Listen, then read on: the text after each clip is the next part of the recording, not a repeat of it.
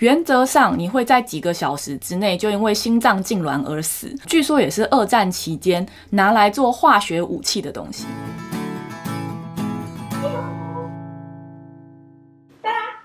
Hello，大家好，今天我们来聊聊不粘锅。那么不粘锅呢，真的是一个很热门的话题，因为现代人为了健康跟热量的因素，通常会希望烹饪的时候油少一点。但是这样又很容易粘锅。那么现在市面上绝大部分的不粘锅都是所谓的铁氟龙锅，但是有很多人说铁氟龙锅其实是有毒的。我们今天会先讲为什么锅子会粘锅，再来我们会讲铁氟龙锅是不是真的有毒呢？再来第三个，如果我们不想要用铁氟龙锅，实际上我们可以有的替代选择是什么？那么今天这个影片呢，会算是一个蛮 hardcore 的科学影片，但我会尽量讲的简单一点，让大家明白。废话不多说，马上开始吧。好，首先第一个为。为什么我们煎东西的时候会粘锅？这个部分的原因其实有很多个。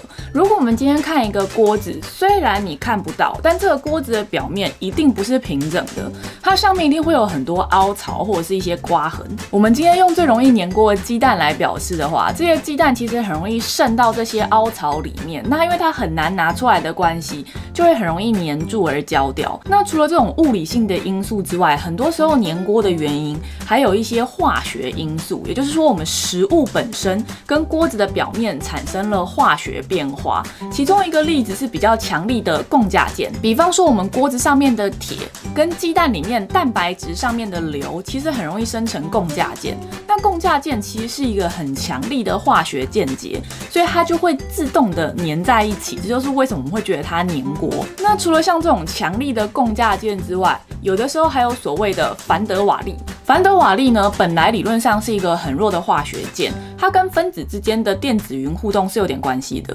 那我们今天不要讲的这么详细，简单来讲，凡德瓦利如果表面变粗糙的话，很容易增强。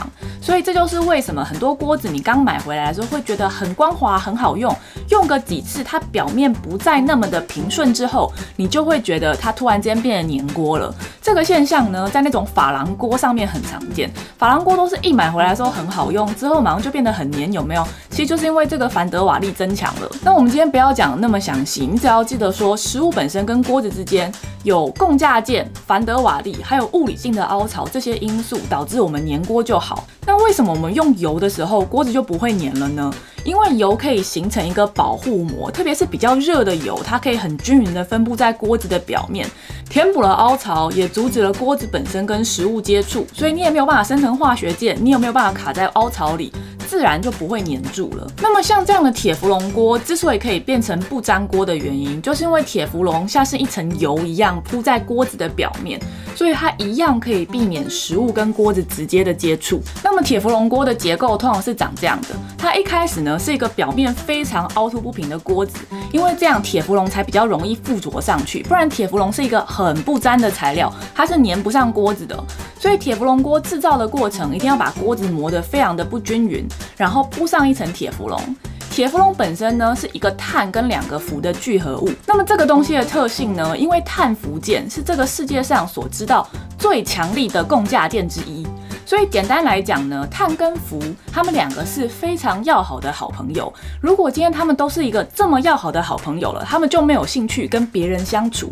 这就是为什么铁氟龙锅不会跟任何东西做反应。所以，比方说，如果我们今天有一个水分子靠近了铁氟龙锅，碳原子跟氟原子就会觉得说，哎，我们两个很要好，我们根本不想要跟你好，所以水分子是没有办法靠近的。这就是为什么铁氟龙锅可以成为一个不粘锅。但是呢，现在已经有非常多充分的证。据显示，铁氟龙锅真的是蛮毒的。比方说，去年有一个很红的电影叫做《Dark Waters》。这个电影呢，原上就是在讲铁氟龙锅生产的过程是如何让它附近的小镇畸形的畸形、死亡的死亡、得癌症的得癌症。也就是说，铁氟龙锅。真的很毒啊！但在这部电影里面呢，它有分成两个部分来讲。铁氟龙锅生产的过程中会有一个东西叫做 PFOA。那你看这个 PFOA 的结构是跟铁氟龙锅是有点类似的吧？也就是说，铁氟龙锅其实可以说是 PFOA 聚合而成的东西。那因为 PFOA 实在是太毒了，而且它本身是一个 forever chemical，意思就是说它永远没有办法从这个世界上消失。所以一旦 PFOA 进入到你的身体里，原则上你就跟它相处了一辈子，你再也没有办法离开它。那因为 PFOA 实在是太毒了。所以大概在八零年代附近开始，就慢慢的越来越少用，后来改用了 PFOS，反正也是个长得差不多的东西。那后来发现 PFOS 其实也很毒。所以现在也用别的东西去代替了，我是有点查不到现在用的东西是什么。但是你看这个铁氟龙锅跟这个 PFOA 结构是真的长得非常的像吧？也就是说呢，你今天使用铁氟龙锅，它一定或多或少会有点 PFOA 的杂质。我觉得这个是有点毋庸置疑的。所以一般而言呢，我们都会说铁氟龙锅千万不能够加热过热。一般会认定你必须要在两百六十度 C 以下的温度。我们烹饪的时候其实是很容易超过这个温度的。一旦超过了两百六十度这个温度，铁氟龙锅就会释放出各种不同的毒气。那我们这边举例四个最可怕的来讲，第一个就是刚刚讲的 PFOA，这个在电影里面有提到。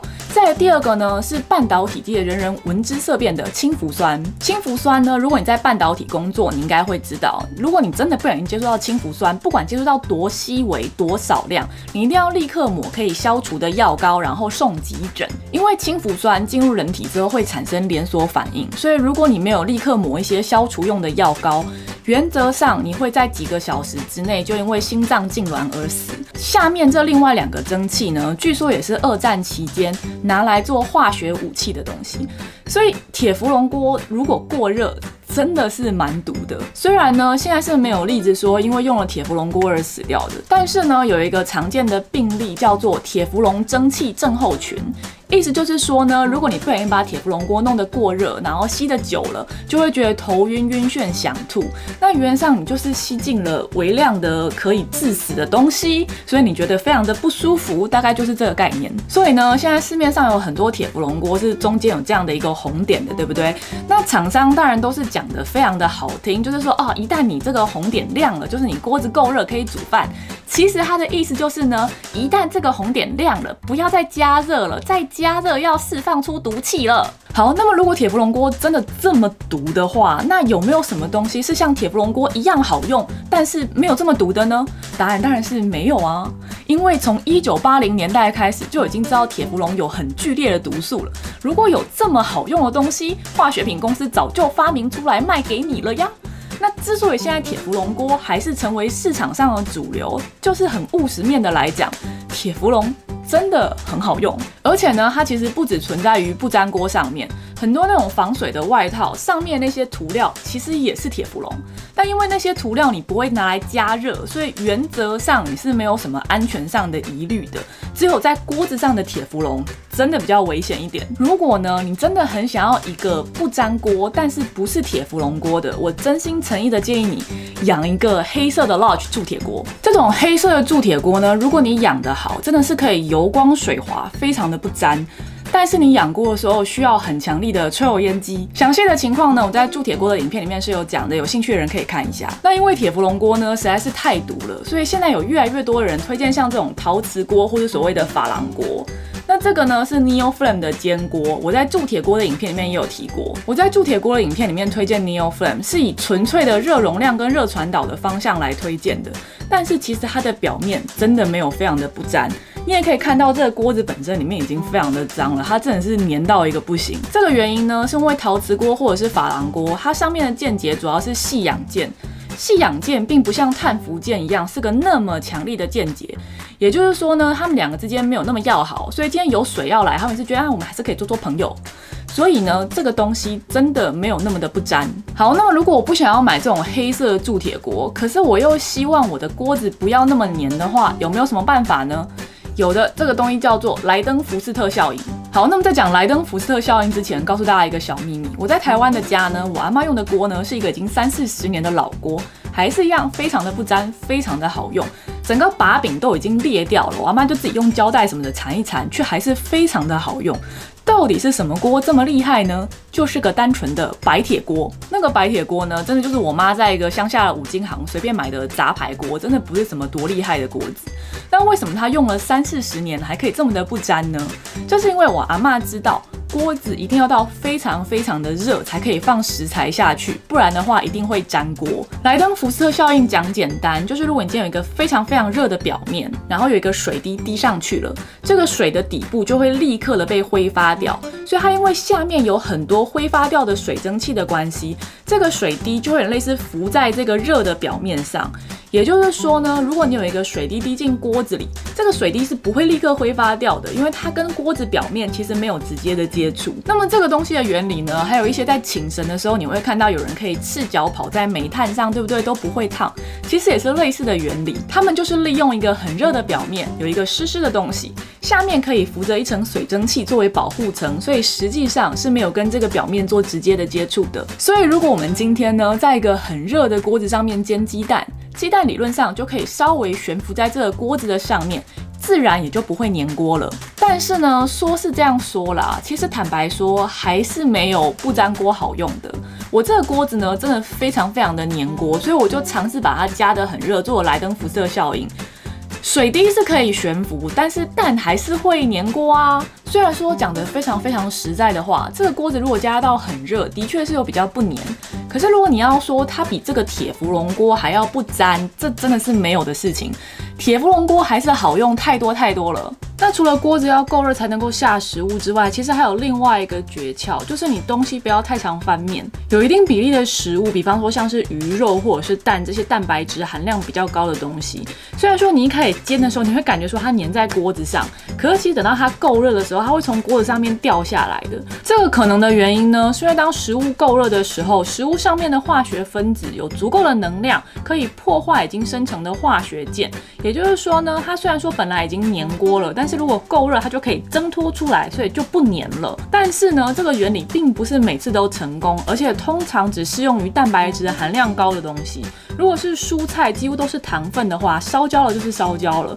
但是肉类如果一开始粘锅，你感觉还没有闻到很焦的焦味的话，继续烧一会儿，多半等一下是会掉下来的哦。好，又到了我们今天说结论的地方了。这个世界上，就我所知，真的是没有什么比铁氟龙锅更好用的了。但是坦白说，这次查完资料，我也觉得铁氟龙锅真的是有点可怕，真的是有点太毒了。要知道，我身为一个做化学的人，其实是非常的不害怕化学物的。我们做化学的人常会说，世界上所有东西都是致癌物，这是真的。你不管买什么 chemical，都会说致癌。所以通常我们是不太在意，但是查完这个铁氟龙锅毒性之后，我真的是怕怕的。虽然很多人说呢，两百五十度 C 以下理论上铁氟龙锅是非常安全，但是我在 PPSU 的影片里面也有说过，你要说它没有任何微量的东西释放出来，我也不是非常的相信。虽然说这个量可能很少很少很少，所以你短期内是不会看到任何的影响。那我们身为体重比较重的大人，偶尔使用铁氟龙锅，我相信不会有太大的伤害。但是如果你是一个孕妇，如果你家有很小的小朋友，最好还是避免使用铁氟龙锅比较好。如果你勤劳又有强力的抽油烟机，我强烈建议你养一个好用的铸铁锅。但是如果你不想养锅的话，我真心的觉得我阿妈那个白铁锅还是真的很不错的。随便买一个耐磨的不锈钢锅，锅子够热了之后才放食材，其实还是可以一定程度上达到不粘的效果的。好，那我们今天就到这边。喜欢这个影片的话，麻烦订阅我的频道，帮我按赞转发，给我一点鼓励，继续往下做。我们下次再见，拜拜。